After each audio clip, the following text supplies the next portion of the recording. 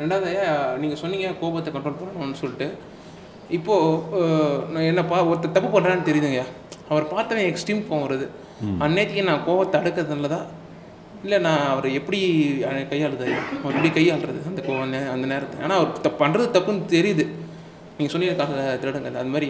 அவர் பண்ணுறது தப்புன்னு தெரியுமா? அவர் திருத்தணும்னு நினைக்கிறதா? இல்லை அந்த கோபத்தை நான் வெளிப்படுறதான்றது இதில் நம்ம அந்த கவலைகள் அனைத்திற்கும் தீர்வுனிட்டு ஒரு புக் இருக்குது அதில் அந்த கோபத்தை பற்றி டிஸ்கஸ் பண்ணியிருப்போம். இந்த கோபங்கிறதே ரெண்டு மூணு ஸ்டெப் வருது. முதல்ல வரும்போது அன்கான்ஷியஸாக வரும். அன்கான்ஷியஸாக வரும்போது ஹண்ட்ரட் பர்சன்ட் பவர்ஃபுல்லாக இருக்கும். அதில் உங்களுக்கு என்ன பண்ணணுங்கிறதெல்லாம் அந்த நேரத்தில் தெரியாது.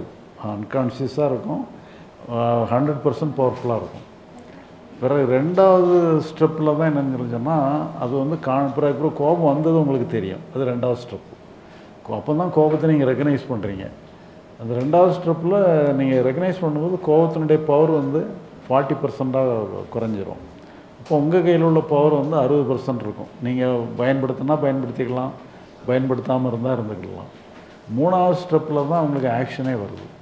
அதனால் ரெண்டு ஸ்டெப்பு கடந்து மூணாவது ஸ்டெப் சொன்னால் ஆக்ஷன் வருது. பயன்படுத்துகிறோமா வேண்டாமான்னு சொல்லி. அதனால் நீங்கள் வந்து நிதானத்தை எடுத்துக்கிடுங்க.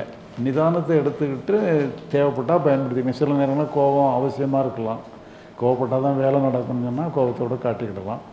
நீங்கள் நிதானத்தோடு இருந்தீங்கன்னு சொன்னால் அதை எந்த அளவுக்கு வேணுமோ அந்த அளவுக்கு பயன்படுத்திக்கலாம். இல்லைன்னா தாறுமாறாக போயிடும் அது அதனால் அந்த நிதானத்தை மட்டும் கடைப்பிடிங்க.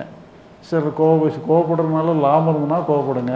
கோவப்படுறதுனால நஷ்டமே ஏற்பட்டுதுன்னு சொன்னால் நீங்கள் கோவப்படுறத கூட நீங்கள் அவாய்ட் பண்ணிடலாம் கண்டிப்பாக கோவப்படணும்னு அவசியம் இல்லை. அடுத்த இன்னொரு கேளுங்க. சில பேருக்கு தீராத வியாதிகளாக இருக்குது நாள்பட்ட வியாதிகளாக அந்த அது குணப்படுத்த எதனா வியாதி. அதாவது ஒரு இல்லை இப்போ இதுதான் நீங்கள் சொல்லி சொன்னால் இப்போ உங்களுக்கு என்ன முடியுமோ அதை செய்யுங்க. அந்த நாள்பட்ட முடி வியாதியை நீட்டு சொல்லி நீங்களே முத்திரை குத்தியாதவங்க நீங்களே முத்திரை குத்தினீங்கன்னா நீங்களே ஒரு கன்க்ளூஷன் வந்துடுறீங்க. அந்த மாதிரிலாம் ஒன்றும் நினைக்க வேண்டாம். உங்களுக்கு முடியாத அம்சங்கள் இருக்கெல்லாம் அந்த டோட்டல் மைண்ட் பொறுப்பில் விட்டுருங்க. அது தீராத வேதியாக இருந்தாலும் அது அது பார்த்துக்கிடட்டும்னு சொல்லி விட்டுருங்க. உங்களால் என்ன முடியுமோ அது சம்மந்தமாக உங்களுக்கு என்ன முடியுமோ அதை மட்டும் பண்ணுங்கள் நம்ம கையில் இல்லாத கடவுள்கிட்ட விட்டணும்னு சொல்லி அந்த கடவுள்கிட்ட விட்டுருங்க இல்லை அந்த டோட்டல் மைண்ட்டை விட்டுருங்க. நன்றிங்க.